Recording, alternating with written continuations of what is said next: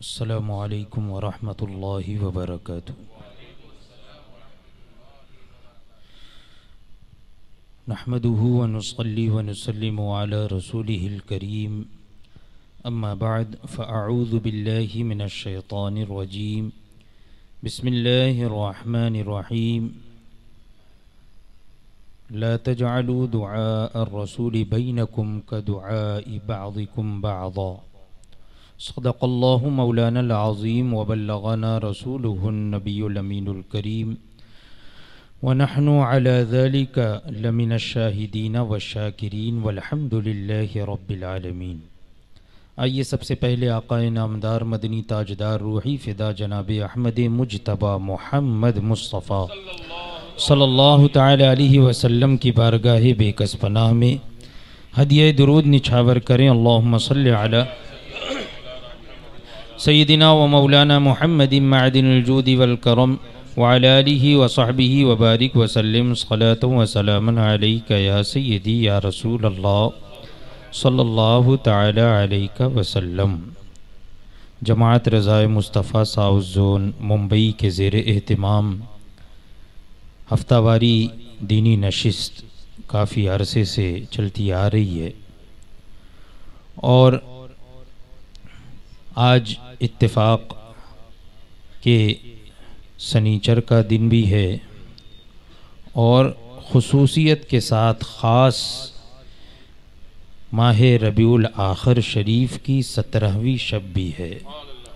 यानी ख़ास सत्रहवीं शब हर महीने वैसे तो सत्रहवीं शब की जाती है, लेकिन आज ये ख़ास जो मंसूब है हुजूर गौस पाक रदी अल्लाह अन्हों से वो सत्रहवीं शब है। तो हफ्तावारी इस दीनी नशिस्त में दरस जाल हो, होता आया है। आज भी चंद बातें जाल हक की रोशनी में ज़िक्र की जाएँगी। अब तक के अकायद से मुतक़ बहुत सारी बातें ज़िक्र हुई है। एक नया बाब आज शुरू हो रहा है कि हुजूर अक़दस सल्लल्लाहु अलैहि वसल्लम को दूर या नज़दीक से पुकारना जायज़ है। यही हम अहले सुन्नत व जमात का अक़ीदा है कि अल्लाह के प्यारे नबी सरकार दो आलम सल्लल्लाहु अलैहि वसल्लम को हम जहाँ से भी पुकारें, हुजूर समात फरमाने वाले, दूर व नज़दीक के सुनने वाले वो कान कान लाले करामत पे लाखों सलाम। अल्लामा मुफ्ती अहमद यार ख़ान नईमी अलैहि रहमत व रिज़वान इस बहस को शुरू फरमा रहे हैं। तो फरमाते हैं कि ये बहस है, निदाए या रसूल अल्लाह या नारे या रसूल अल्लाह की। कि हम अहले सुन्नत जमात नारे रिसालत भी लगाते हैं और नारे तकबीर भी लगाते हैं। फरमाते हैं, हुजूर अलैहि सलातु वस्सलाम को दूर या नज़दीक से पुकारना जायज़ है। उनकी ज़ाहरी ज़िंदगी पाक में भी और बाद वफ़ात शरीफ भी। ज़ाहरी हयात तय्यबा में भी पुकारना जायज़ और विसाल मुबारक के बाद भी पुकारना ये जायज़ है। ख़्वाह एक ही शख्स अर्ज़ करे, या रसूल अल्लाह सल्लल्लाहु अलैहि वसल्लम, या एक जमात मिलकर नारे रिसालत या रसूल अल्लाह लगाए। चाहे एक शख्स अर्ज़ करे या पूरी जमात मिलकर जो है वो पुकारे, हर तरह जायज़ है। लिहाजा इस बहस को हम दो बाब में तकसीम कर रहे हैं। यहाँ पर दो बाब ज़िक्र कर रहे हैं। दो अलग अलग जो है वो पार्ट में ज़िक्र कर रहे हैं। पहला बाब जो है वो, या रसूल अल्लाह की निदा लगाने के सबूत में है। और दूसरा बाब ये एतराज़ जो करते हैं कुछ लोग कि इस तरह से पुकारना ये शिरक है, नहीं पुकारना चाहिए तो उनके एतराज़ात के जवाब के बाब में इन आइंदा ज़िक्र होगा। फरमाते हैं, हुजूर सलातो वसलाम को निदा करना, पुकारना, मुतलकन पुकारना, कुरान करीम, फ़ेल मलाइका, फ़ेल सहाब कराम और अमल उम्मत से साबित है। कुरान करीम से भी साबित है, अहादीस करीमा से भी साबित है और मलाइक मुकर्रबीन से भी साबित है, सहाब कराम से भी साबित है और अमल उम्मत से भी साबित है। यानी सहाब कराम रिजवान तली मजमैन ताबेन तब ताबेन बाद में जो बुजुर्गान दीन आए, उनसे भी साबित है कि हुजूर अकदस सल्लल्लाहु अलैहि वसल्लम को निदा दी जाए। फरमाते हैं कि निदा के बारे में पुकारने से मुतालिक कुरान करीम ने बहुत मकामात में हुजूर सलात वसलाम को निदा फरमाई। कहीं, या अयुहन नबी कहा गया, कहीं, या अयुहर रसूल कहा गया कहीं या अयुहल मुजम्मिल तो कहीं या अयुहल मुद्दसर कहा गया। वगैरह इन तमाम आयात में हुजूर सलात वसलाम को पुकारा गया है। हाँ यहाँ पर फ़र्क सिर्फ़ इतना है कि दीगर अम्बिया अम्बिया कराम को उनके नाम से पुकारा। या मूसा, या ईसा, या यहया, या इब्राहीम, या आदम वगैरह मगर महबूब सलात वसलाम को प्यारे प्यारे अलकाब से निदा फरमाया इसीलिए किसी शायर ने क्या खूब कहा है कि या आदम अस्तबा पिदरे अम्बिया खिताब, या अयुहन नबी खिताब मोहम्मद अस्त। सल्लल्लाहु अलैहि वसल्लम यानी वो जो तमाम अम्बिया कराम वसलाम के बाप हैं, उन्हें भी या आदम कह के खिताब किया गया, लेकिन हजूर अकदस सल्लल्लाहु अलैहि वसल्लम की ज़ात गिरामी है कि आपको अगर खिताब किया गया तो या अयुहन नबी कहकर खिताब किया गया। बल्कि कुरान ने आम मुसलमानों को भी पुकारा है। एक कुरान ने भी दर्श दिया है। कि किसी को अगर पुकारो तो अच्छे अलकाब से पुकारो। कुरान ने हुजूर अकदस सल्लल्लाहु अलैहि वसल्लम को निदा दी तो अलकाब से तो निदा दी। हुजूर की उम्मत को भी अगर निदा दी तो या लदीना आमनु कहकर निदा दी। यानी, ए ईमान वालो, और मुसलमानों को हुक्म दिया कि हमारे महबूब सल्लल्लाहु ताला अलैहि वसल्लम को पुकारो, मगर अच्छे अलकाब से पुकारो। अच्छे अलकाब से पुकारो। कुरान पाक में इरशाद हुआ, ला तजालू दुआ रसूल बैनकुम का दुआ इबादिकुम बाज़ा इसका तर्जमा ये है कि रसूल के पुकारने को अपने दरमियान जिस तरह एक दूसरे को पुकारते हो, उस तरह ना बनाओ। यानी हुजूर को उस तरह, उन अल्फाज से ना पुकारो जिस तरह एक दूसरे को पुकारते हो। फरमाते हैं कि इसमें हुजूर सलात वसलाम को पुकारने से नहीं रोका गया कि पुकारो ही मत, बल्कि किस चीज़ से रोका गया? फरमाया गया कि औरों की तरह ना पुकारो। ये नहीं कहा गया कि मत पुकारो, बल्कि पुकारो लेकिन औरों की तरह मत पुकारो। कुरान ने फरमाया उदम लियाबाहिम उनको उनके बाप की तरफ़ नस्बत करके पुकारो। इस आयत में, इस आयत में एक सहाबी है, हज़रत जैद इबन हारिसा। तो जैद इबन हारिसा से मुतालिक भी कुरान ने यह फरमाया कि उनको पुकारो।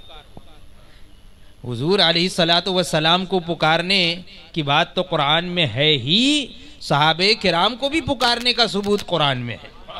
है ना? अगर पुकारना ही है, निदा देना है तो कुरान ने हुक्म दिया उदम लिआबाइहिम।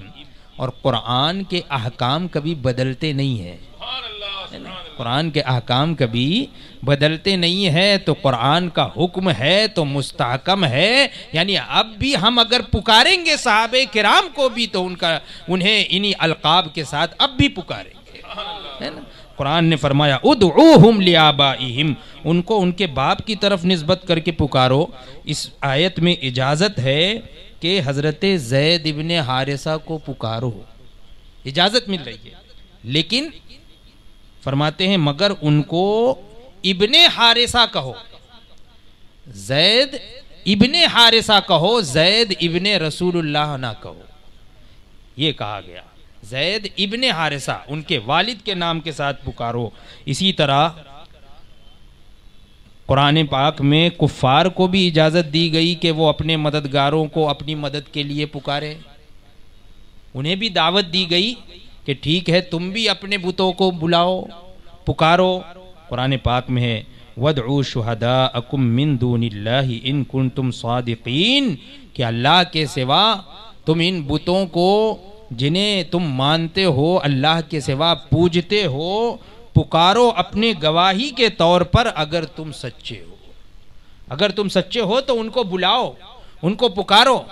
तो कहना यह है कि जो लोग ये कहते हैं कि पुकारना ये जायज़ नहीं है, कुरान पाक ने तो सिर्फ़ हुजूर को ही पुकारने का हुक्म नहीं फरमाया, बल्कि हुजूर के अलावा दूसरे आम लोगों को भी पुकारने की बात कही है, कुरान ने।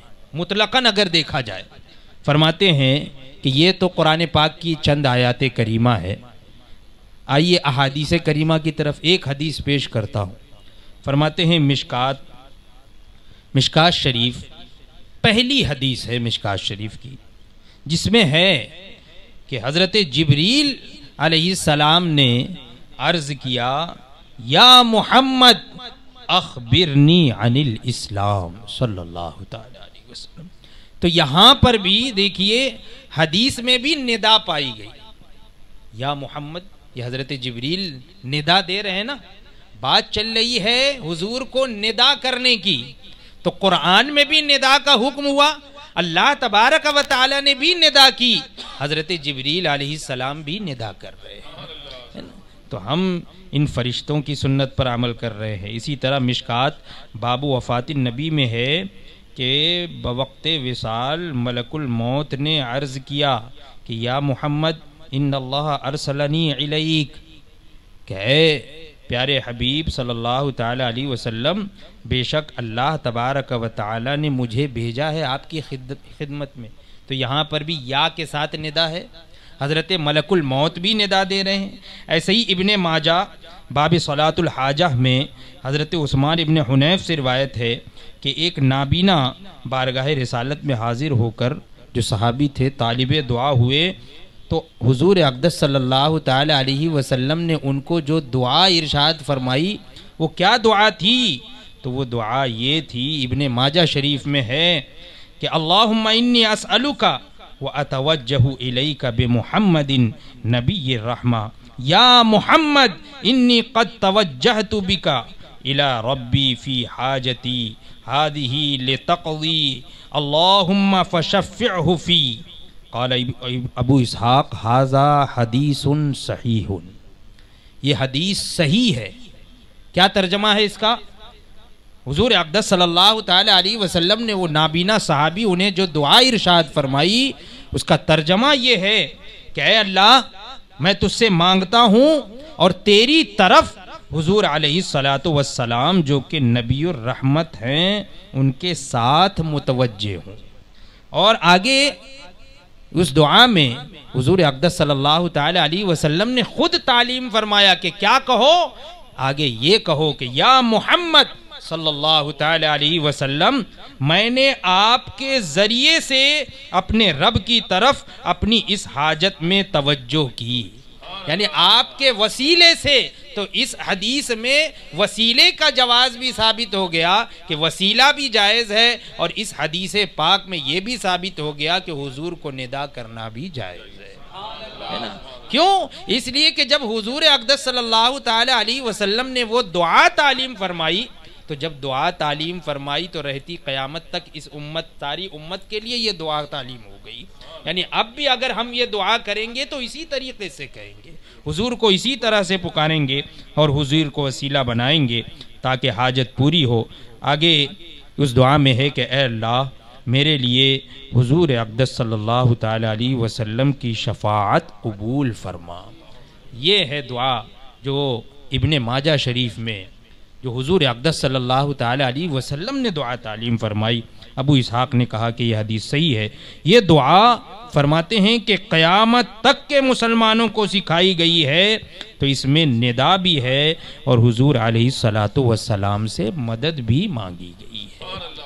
तो चंद आयात करीमा, जिसमें निदा का सबूत मिला और चंद अहादीस मैंने आज पेश कर दी, जिसमें निदा का सबूत है इन आइंदा भी चंद अहादीस करीमा और अकवाल फ़ुकहा कुतुब फ़िक़ और बुज़ुर्गान दीन के अकवाल से भी और अकली दलाइल से भी इन तबारक व ताली इसका सबूत पेश किया जाएगा। अल्लाह तबारक व ताली हम तमाम लोगों के अकीदे और ईमान की हिफाजत फरमाए। मसल के हक़ मसल के अहल सुन्नत, जिसे पहचान के लिए ज़माने में मसल के आला हज़रत कहते हैं, उसी मसलक पर मजबूती से कायम रखे और उसी पर हमें मौत नसीब फरमाए। वाखिर दावाना अलहमदिल्ला